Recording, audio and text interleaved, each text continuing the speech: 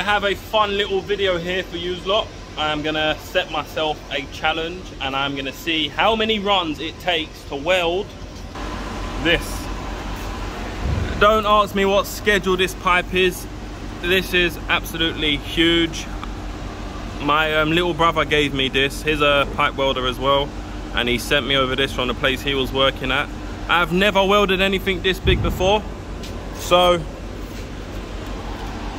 this size here. It's about two inches on the inside diameter. And on the outside is oh, 115 mil. A 32 mil wall thickness. And I'm gonna see how many runs it takes to weld this. And the settings I'm gonna be using for the root is gonna be 130 amps. It's gonna be a Synergic root setting so I control the amps and it changes the volts and wire speed automatically.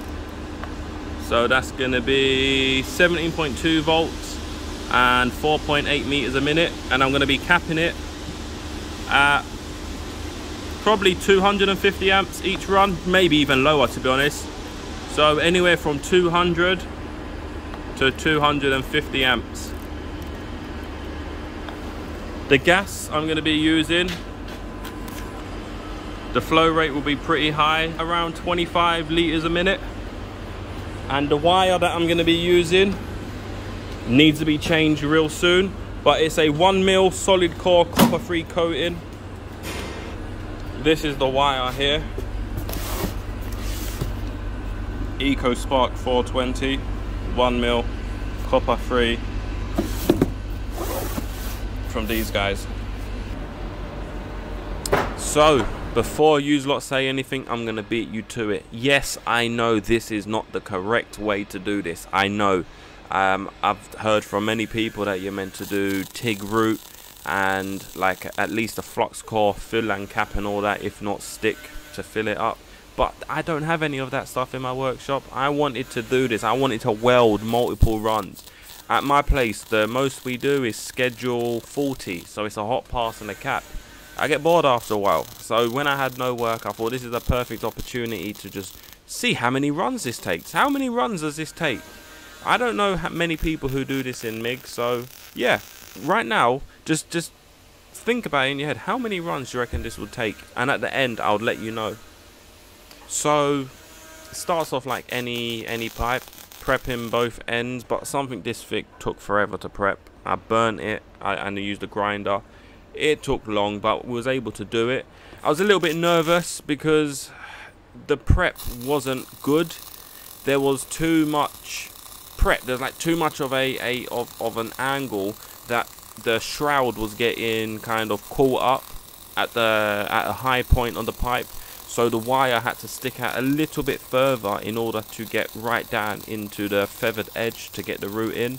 But so I surprised myself. I actually managed to um, to to salvage it, and it was it was a good root So because I know you lot are watching, I know I have to do this at least properly. Even though this is an experiment and a little fun thing to weld, I know I have to do it good enough that it can be critiqued by you lot. So I do half and half, or instead of welding it in quarters, I, I do three tacks and I weld half, cut the tacks out, and then I weld the other half. Um, it came out nice. What I was doing so at the start I was grinding the two corners of each one of my hot passes or fills whatever um, you want to call it. I was grinding each two corners same with my root. But after a certain point I thought I ain't got time. I'm about to get work at any moment. Because this, this took me like two days spread across two days. I started one day got work came back to it the next day. So yeah so at a certain point I thought I'm to take this gamble for having slag, um, slag inclusion or porosity or any old contaminants in the weld and I stopped grinding about halfway through.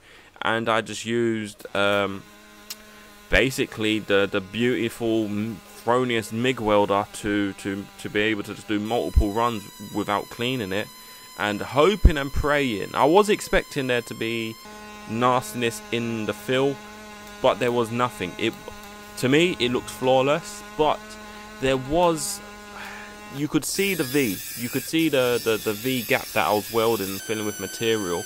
I don't know if you can see the difference in the textures, whether that's an issue or not. Some people said there's an issue, other people said it's not an issue, but you'll see later on and um, let me know what you think. So at this point here, my good guy Janair, he came in wanting to inspect it. It's always fun to see what everyone else is doing, especially something this thick. Like I said, the most, the thickest pipe we do is about 10 mil. So to see like a 32 mil thick piece of pipe, that, you know, people are interested in stuff like that.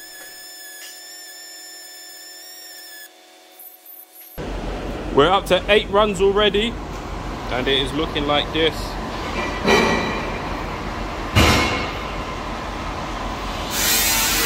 Nearly up at the top.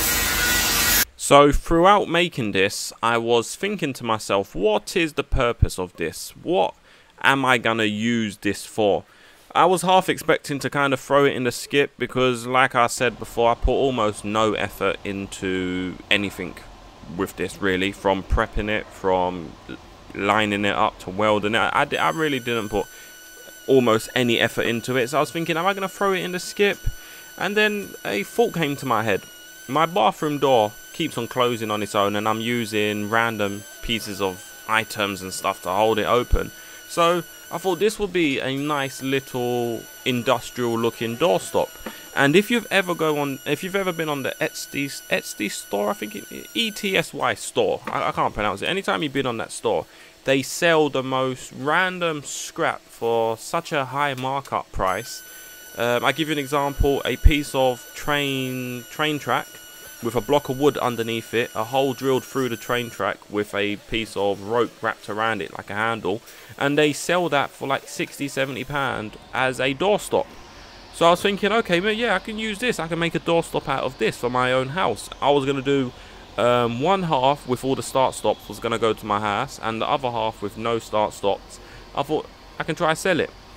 I did later on though put both of these in my house but um, yeah that's that's what kind of came to my head while making this so it's done now it took 25 runs to finish this and if you lot guessed 25 runs give yourself a little round of applause good guess no worries let's acid test this then so what's you this got charging royalties ferric acid. where's your PPE Um, my hands are so fucked from Why are you swearing? You can't swear. Oh, Let's do this. You, you messed my video up already. See, people, this man is not for public consumption. I don't know how well this is going to work. I've never used it before. we shall see. We shall see.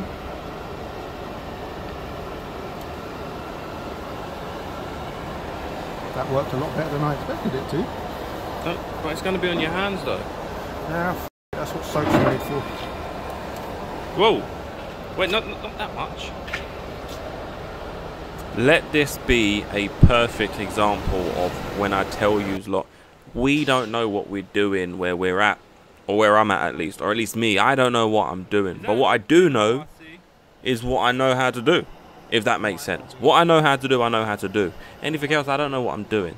I don't claim to be no expert at anything, nor uh, yeah, basically an expert, I should say. I don't, I don't claim to do any of that stuff. I just, I just was taught a certain way, and I do things that I was taught.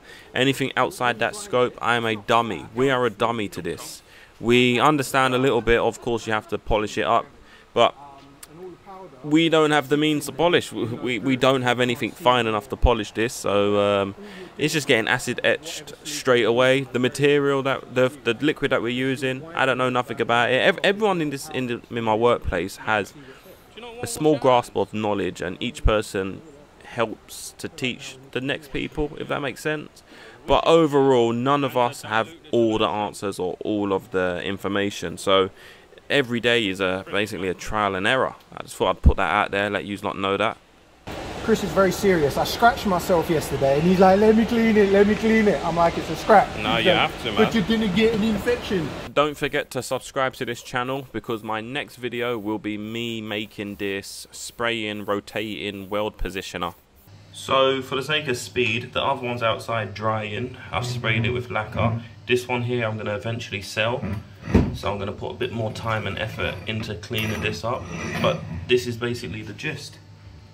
It goes underneath the door so it doesn't tip over. So if you've been following me for any amount of time, you, you probably guessed I don't answer a like and a follow. But in this video I will. I need the algorithm to push my videos forward so I can share more content. Please give a like, subscribe to my channel and that will help me out immensely.